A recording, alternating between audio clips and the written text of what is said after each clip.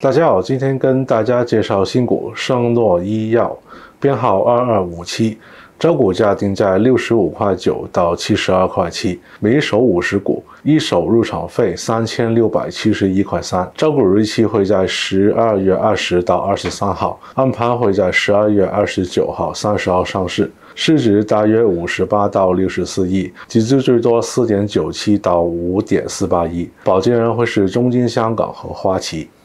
再给大家个资讯：新股上市之后，股票按值能达到百分之五十。那扣一这新股怎么看？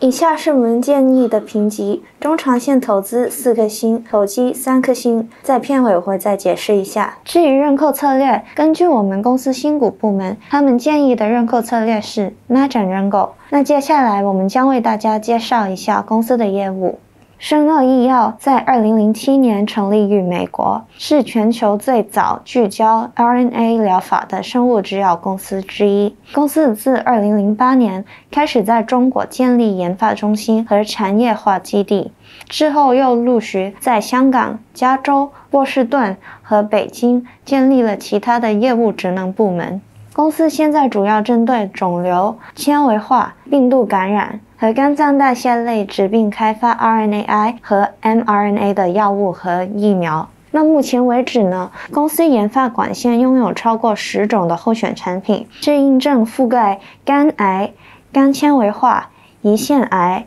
结肠癌、新冠以及心脏代谢疾病等等的领域。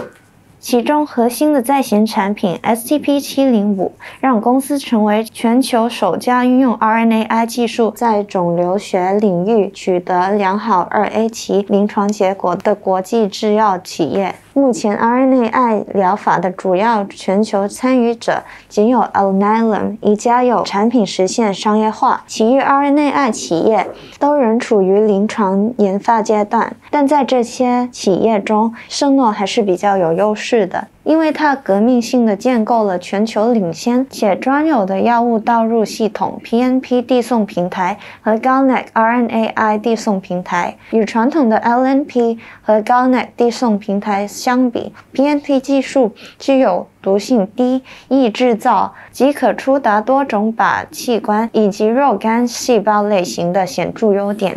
且同时适用于局部给药和全身给药。而其他同行企业则大部分都是依赖 Galnet 递送平台，其涉及的专利保护非常有限，且风险较大。公司拥有独有领先的递送平台，使它能够突破常规 RNAi 适应症的限制，加长产品管线。同时，跟信达、君实等多间在国内外知名的药企展开合作，推动多个项目的研发进展以及全球商业化布局。此外，圣诺透过子公司开发了 mRNA 疗法及疫苗的研发管线，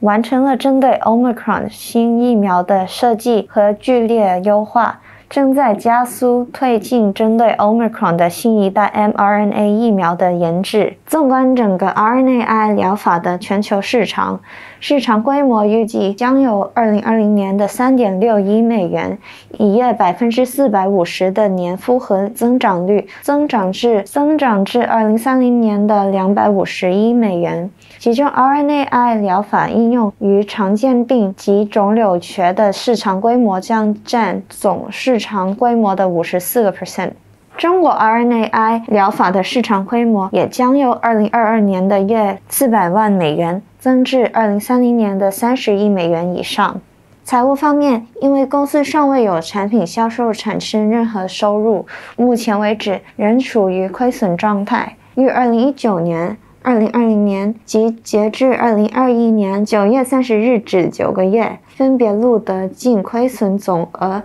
一千七百万美元、四千六百万美元及五千万美元。净亏损主要因为研发开支以及行政开支而导致。从投资角度而言，因为公司作为有望继 Alnylam 之后，在美国和中国率先实现 RNAi 产品的商业化，我们给公司四颗星的评价。而投机方面，我们给公司三颗星的评价，因为公司的产品还处于研发阶段。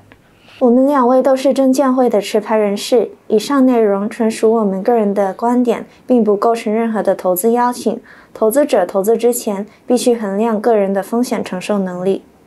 近来新股持续走热，听说汇利有专属打新账户，你开户了吗？现在我们有呈现提供我们的网上开户系统，你可以扫描下方的二维码，或者是登录我们的官方网站。简单几个步骤就可以完成开户啦。首先填写自己相关的资料，好提供相关的证明，还有审查一定的风险，还有以及我们最后的经过一定的审查，你就可以完成开户的步骤啦。那最后我们还有三十八元的套餐提供给打新的专属客户们，然后你可以在五万元以内，然后就可以有享受我们的免息等等。那对大日新股同时有九成、九五成也都有提供，加入汇利广上开户就可以进行我们的新股打热。